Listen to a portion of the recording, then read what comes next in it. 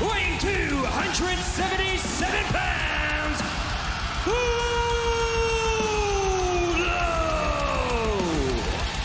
We haven't seen Wardlow since this past June.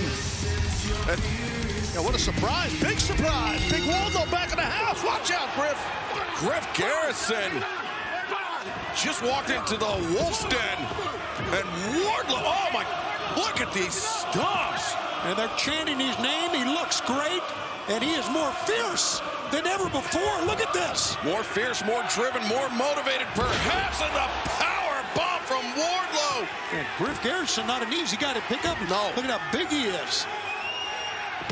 Wardlow, the second one. Oh, oh. just gut, gut wrenching him up with the power bomb. Oh, hell, number four. Wardlow wrenching up Garrison and Paul Turner. He may need to intervene at this point. Oh! Gonna go again here, Wardlow. It's gonna be Wardlow's fifth. Dun, dun, dun, dun. Wardlow, five consecutive power bombs. The finish, and he just... Ladies and gentlemen, the referee has stopped this victory oh, for Wardlow. That was total destruction, Taz. Yeah, definitely. Wardlow came out here, just went right through Griff Garrison, man. That, he was not playing around there.